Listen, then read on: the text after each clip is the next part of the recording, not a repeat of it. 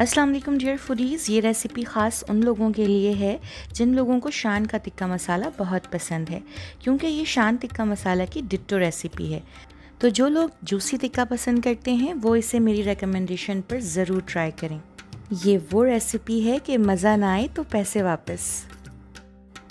सो सबसे पहले हम लेंगे एक कप दही, दो खाने के चमचे लीमू का रस, एक चाय का चमचा या हसबे ज़ायक़ा नमक एक खाने का चमचा पिसी हुई लाल मिर्च, एक चाय का चमचा भुना कुटा ज़ीरा, एक चाय का चमचा चाट मसाला, आधा चाय का चमचा गरम मसाला, एक खाने का चमचा पिसा हुआ लहसुन अदरक, दो खाने के चमचे सफ़ेद सिरका, दो खाने के चमचे सोया सॉस, एक खाने का चमचा chilli sauce, one four teaspoon जर्दे का रंग, तीन से चार खाने के चमचे तेल आधा चाय का चमचा पिसी हुई काली मिर्च।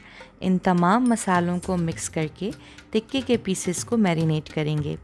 टिक्के में इस तरह से डीप कट्स लगा लीजिए और मसाले से चिकन को अच्छा सा मसाज दीजिए।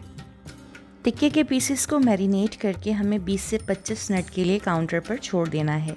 ये मसाला एक किलो मुर्गे के पीसेस के लिए काफ़ी है। अब पैन या पतीली को ग्रीस करेंगे और टिक्का पीसेस को पैन में रख के धीमी आँच यानी मीडियम टू लो फ्लेम पर पकाएँगे। जब दोनों साइड से हल्का हल्का सा कलर आ जाए तो अब जो मसाला बचा हुआ है मैरिनेशन का, वो डाल देंगे और ढककर आँच थोड़ी सी बढ़ा देंगे।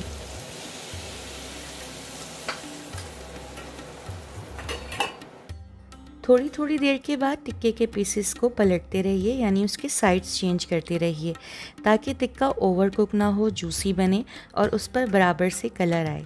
टिक्के का जूसी होना बहुत ज़रूरी है और उसके लिए आपको इसे ओवर कुक बिल्कुल नहीं करना है।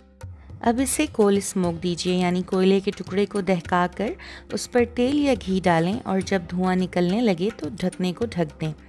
एक मिनट के बाद ढकना हटाकर कोयले को हटा दीजिए। लाजवाब, जूसी टिक्का तैयार है। ट्रस्ट में आप शान के टिक्के मसाले को भूल जाएँगे। इसे रायते के साथ सर्व कीजिए। मेरे चैनल को ज़रूर सब्सक्राइब कर लीजिएगा। Stay tasty